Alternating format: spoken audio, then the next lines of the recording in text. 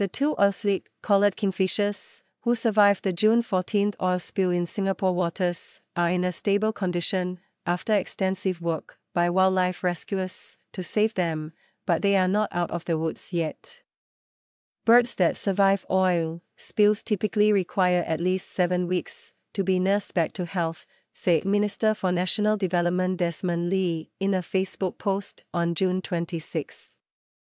For kingfishers were rescued from different parts of Singapore in the aftermath of the Republic's worst oil spill in over a decade, caused by a dredging boat hitting a stationary cargo tanker at Pasir Panjang terminal. Two of them subsequently died. One survivor is currently being treated at National Parks Board's Center for Wildlife Rehabilitation, and the other is under the care of wildlife rescue group Animal Concerns Research and Education Society ACRES. The collared kingfisher is the most common species of kingfisher in Singapore. It can be found throughout the country, including in urban areas away from water. The Straits Times was given access to observe veterinary treatment for the kingfisher at NParks Wildlife Rehabilitation Facility in Lim Chu Kong. The bird, which was rescued from East Coast Park on June 16, now spends most of its time in an incubator as it recovers. It is kept warm at 28 degrees Celsius to 30 degrees Celsius because the oil impacts the kingfisher's ability to maintain its body temperature to avoid causing the bird more stress as it is unaccustomed to human contact, it cannot be handled for more than 15 minutes a day. Animal rescuers work swiftly during this limited time window to give it the veterinary care it needs. When taken out of the incubator, the bird is swaddled in a purple cloth. Vets quickly weigh it and administer fluids for hydration and pain relief medication while parts of its body like the eyes, mouth, and nasal passages have been cleaned and are free of oil, many of its turquoise blue feathers remain tarred with oil. Cleaning has to be done slowly and meticulously with a toothbrush. NParks Group Director Anna Wong said, It's very difficult to clean oil off the birds because it gets into all the feathers. We can't clean the bird every day because it gets too stressed. That's why cleaning is not completed even though it has been with us for a while. For now, the bird's condition has stabilized. It is alert, eating well on its own, and has gained a bit of weight.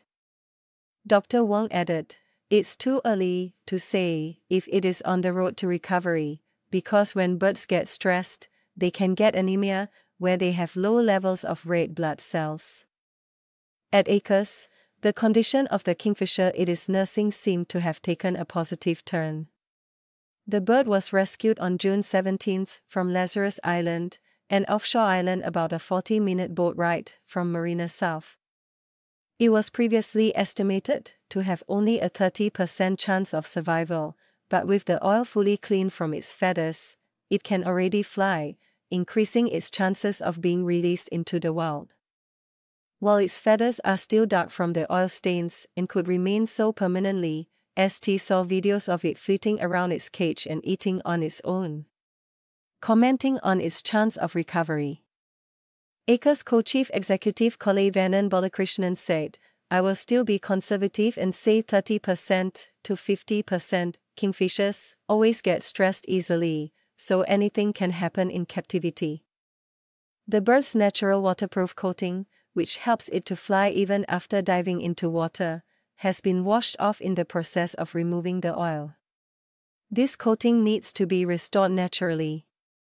Over 6 to 7 months. To test if the bird's waterproof coating has been restored, ACRES will mist the bird with water and observe if its feathers repel water or get soaked. Mr. Lee said that NParks, as well as partners such as ACRES, Mandai Wildlife Group, S.E.A Aquarium, and Singapore Veterinary Association are ready to carry out further wildlife rescue work. If there are reports of other wildlife that may be impacted by the oil slick, NParks Dr. Wong said the various organizations are in close contact with one another following the oil spill. and will tap on one another's expertise. NParks Wildlife Rehabilitation Center usually treats native animals like birds and reptiles, while S.E.A Aquarium could help with marine mammals. Mandai Wildlife Group has more specialized equipment if an animal requires further diagnosis.